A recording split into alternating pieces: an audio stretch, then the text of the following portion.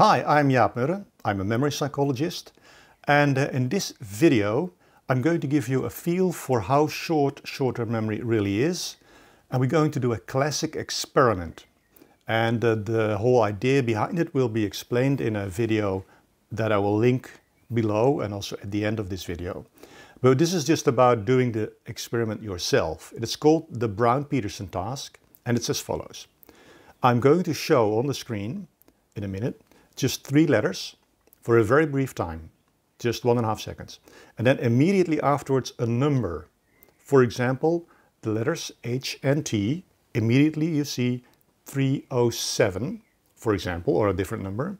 And your task is to immediately count back in threes aloud, like 307, 304, 301, 298, and, um, and, and so on. You keep doing that. And after a while, uh, the, the, screen will change from white and then it says what are the words, uh, the letter, try to remember those letters or something to that extent. Uh, and you have five seconds to then say out loud the letters that you were just uh, presented with. And, um, and then after, and then it goes to the next trial. So each trial uh, you have the same sequence but different letters and a different number. Uh, and there are five trials in total. And so this will give you a, a chance to experience the Brown-Peterson experiment. So I'm now going to stop speaking and the screen will change to white and everything will be done visually, although there will first be a chance to get used to that with a short example. And then you'll go into the experiment. There's no need to write anything down. Everything can be done just by you know, either saying it aloud or in your head uh, if you don't want to say it aloud. And I'll get back to you after that.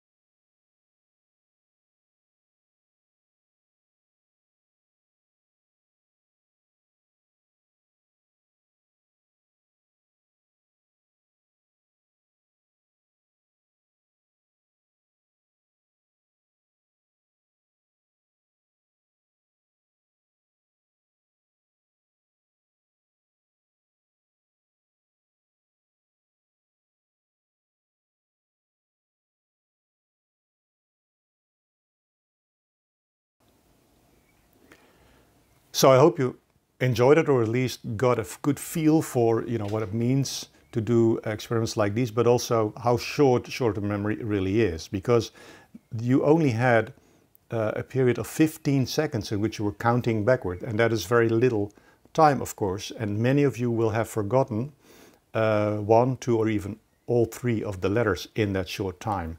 At least some of the trials and some of the letters you will have uh, missed. And this is classic for the Brown-Peterson uh, experiment, which I'll show in the uh, linked video.